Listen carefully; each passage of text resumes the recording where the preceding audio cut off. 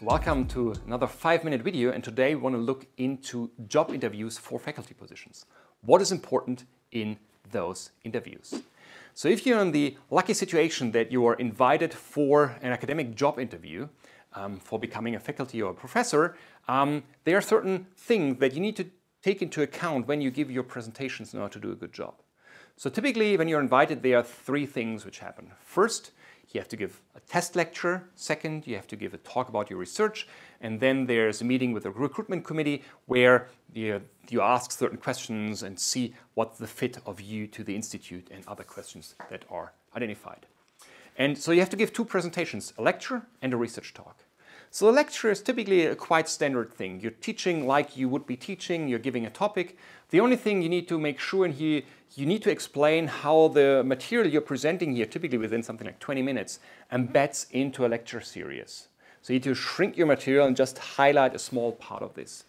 You also need to make sure you address it to the right set of students. So if they say, okay, this is for third semester bachelor students, you need to make sure that for the local study program, that is actually a fit. And people see through that how well you are prepared for coming to that place. How much efforts did you put into this?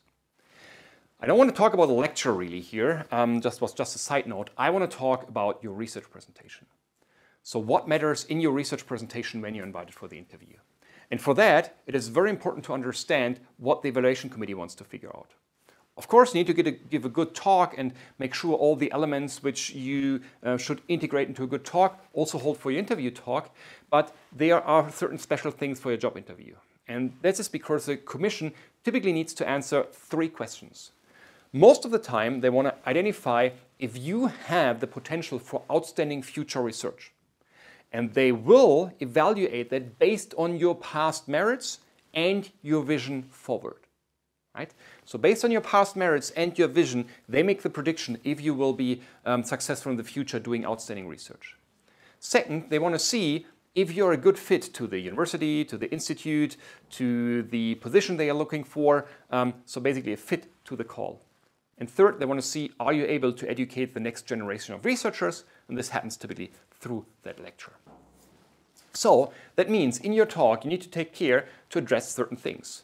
First of all, you need to make sure you present your vision. What is what you stand for? What is the thing you want to investigate in the next, whatever, five years in your research plan and how you want to push this forward? For that, it's important to note that not everything must be completed. But you need to make sure that you did first steps into this direction. So your past merits must be there so that the audience believes that you can actually ship that vision. So you need to have certain steps towards your approach. So for the vision, present what's your vision, what's your approach to this, and which part of the way you have already taken, and what are your key achievements on that way.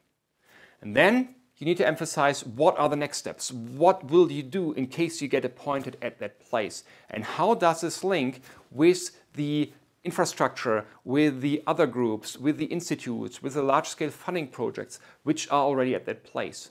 So that they can see there's a benefit for you coming to the place, and then you will also uh, be beneficiary for the place where you applied for. And then people often say you should do kind of a T profile talk. And you basically have like a T where um, the, uh, the height of the T shows how deep you go. So a, a large part of your talk should be actually shallow enough so that the members of the selection committee understand what you're doing. And most of them will be not from your discipline. They all need to understand what you're doing to see interactions. But then in one part, you can select which part it is, you need to go deep and show for the expert that you know what you're talking about. The only important thing is when you go back um, and leave kind of the deep area, then you make, need to make sure you reconnect with the others and keep them engaged again into your presentation. And then at some point in time, you come to the end. And on the last slide, there are basically two ways how you can address the last slide. One thing is highlight your past merits in order to emphasize what you have done and so that they believe you can do further outstanding research. Or the second approach could be what will you bring in? How you will push the local place forward? How will you support the faculty, the institute, the university, and make them more successful? It probably depends where you are in your career, if you go for past merits or what I will I bring in. but these are two possible ways to end your presentation. I hope that was useful and simplifies your search for a faculty position in the future. Thank you.